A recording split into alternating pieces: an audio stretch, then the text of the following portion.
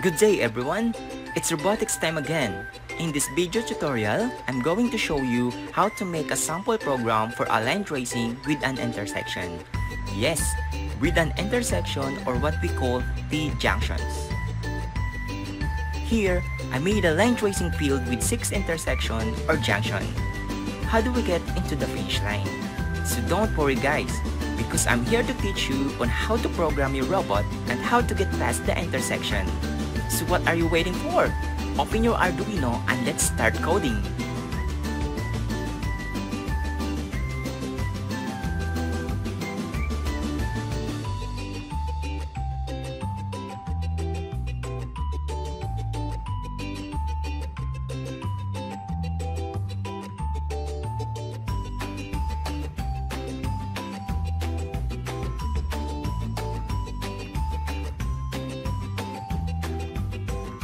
So here the sample program for a line tracing with an intersection.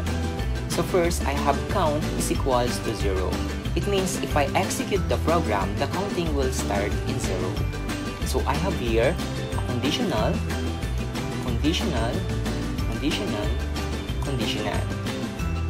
So this is what we call the nested loop. Nested loop means a loop statement inside another loop statement. Okay, let's talk about the first conditional statement.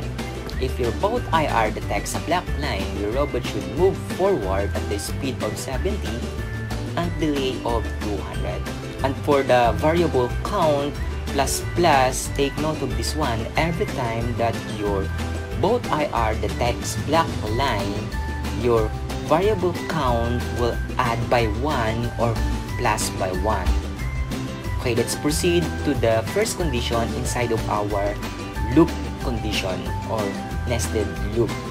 So if your count is equals equals to 2, your robot should spin to the right at the speed of 100 and delay of 400. For the second condition, if your count is equals equals 4, your robot should spin to the right at speed of 100 and delay of 400. And for the third condition, if your variable count is equals equals to 5, your robot should spin to the left at the speed of 100 and delay of 400. And last, if your variable count is equals equals to 6, your robot should stop on the line and delay of 5000.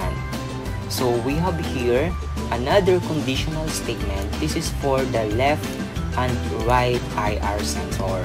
If your left IR sensor detects a black line, your robot should spin to the left at the speed of 100 and delay of 200.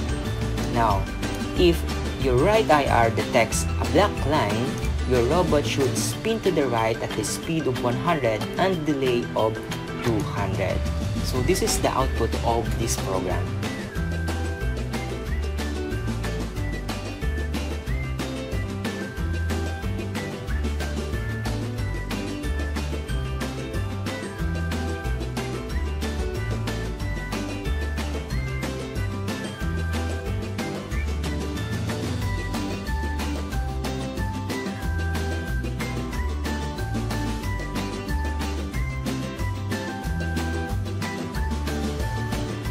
So that's for today. Please like, share, and subscribe to our YouTube channel.